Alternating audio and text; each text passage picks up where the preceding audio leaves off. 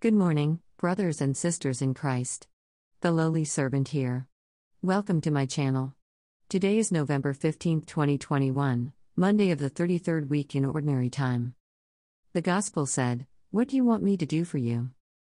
He replied, Lord, please let me see. Let's have a listen and reflect on it after. But first,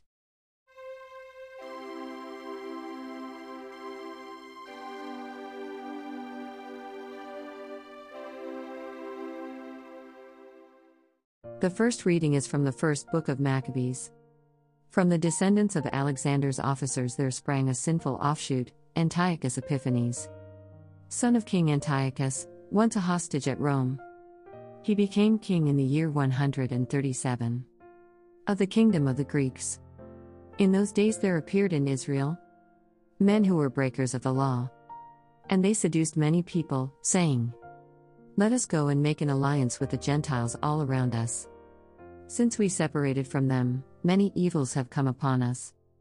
The proposal was agreeable. Some from among the people promptly went to the king. And he authorized them to introduce the way of living of the Gentiles. Thereupon they built a gymnasium in Jerusalem.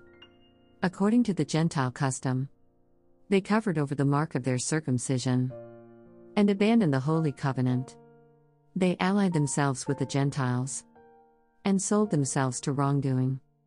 Then the king wrote to his whole kingdom that all should be one people, each abandoning his particular customs. All the Gentiles conformed to the command of the king. And many children of Israel were in favor of his religion. They sacrificed to idols and profaned the Sabbath. On the fifteenth day of the month Chislev, in the year 145, the king erected the horrible abomination upon the altar of burnt offerings. And in the surrounding cities of Judah they built pagan altars. They also burned incense at the doors of the houses and in the streets. Any scrolls of the law which they found they tore up and burnt.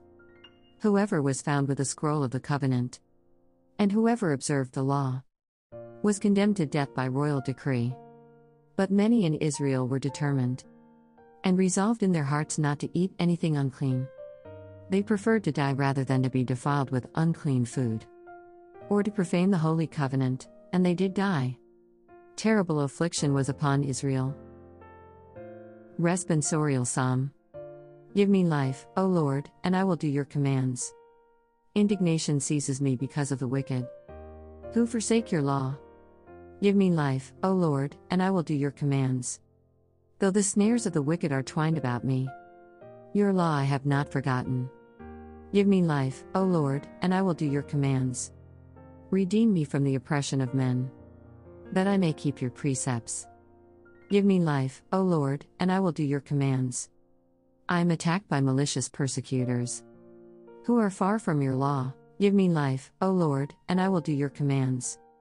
Far from sinners is salvation, because they seek not your statutes. Give me life, O Lord, and I will do your commands.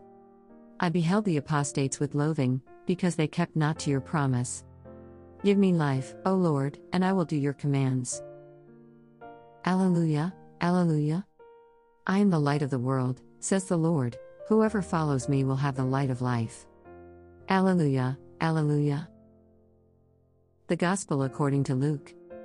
As Jesus approached Jericho, a blind man was sitting by the roadside begging, and hearing a crowd going by, he inquired what was happening.